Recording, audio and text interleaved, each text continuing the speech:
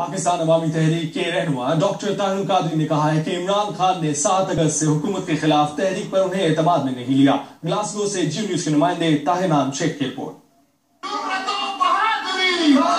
ادارت ناج القرآن کے سربراہ ڈاکٹر طاہر القادری نے مقامی ریسٹورنٹ میں اپنے کارکنوں کے ایک بڑے اجتماع سے خطاب کیا۔ اس موقع پر جیو کے ایک سوال پر کہ عمران خان سات اگست سے حکومت کے خلاف تحریک شروع کر رہے ہیں۔ کہ آپ ان کا ساتھ دیں گے۔ ڈاکٹر طاہر القادری نے کہا کہ عمران خان نے اس سلسلہ میں ہمارے ساتھ کوئی تبادلہ خیال نہیں کیا ہے۔ عمران خان جو ہے وہ سترہ تاریخ کو شروع کر رہے ہیں اپنا ایجوکیشن کا پروگرام کیا آپ ان کا ساتھ دیں گے اس دفعہ؟ میرے ہمارے ساتھ اس موضوع پر کوئی گفتگو ان کی نہیں ہوئی نہ تبادلہ خیال وہ جو اناؤنسمنٹ کی ہے ان کو آزادی ہے وہ بے شک کریں۔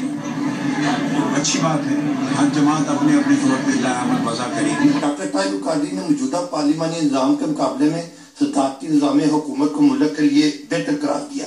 انہوں نے کہا کہ وہ گلاسکو سے سیدھے لاہور جائیں گے جہاں منہاج القرآن میں اکتیس جولائی کو ایک مشترکہ لایا عمل طے کرنے کے لیے قومی مشاورت کی کانفرنس منعقد کی جائے گی۔ تمام اپوزیشن جماعتوں کی آئندہ ان سے نجات پانے اور ملک کو بچانے اور سنوارنے کے لیے کیا ہو سکتی ہے اس پر ایک لا عمل تیار کریں گے جو اناؤنس کیا جائے گا۔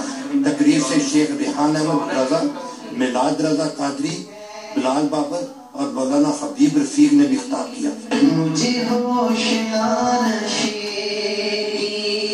کیمرہ مین زائد شفیق کے ساتھ Tahir Inam Sheikh Geo News Glasgow Scot land.